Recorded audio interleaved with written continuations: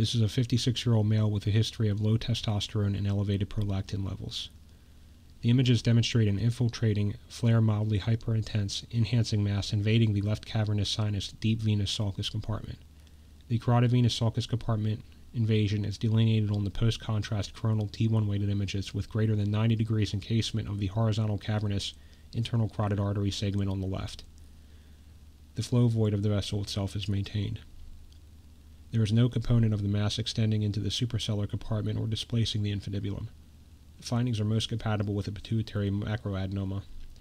Pituitary macroadenoma is greater than 10 millimeters in greatest dimension.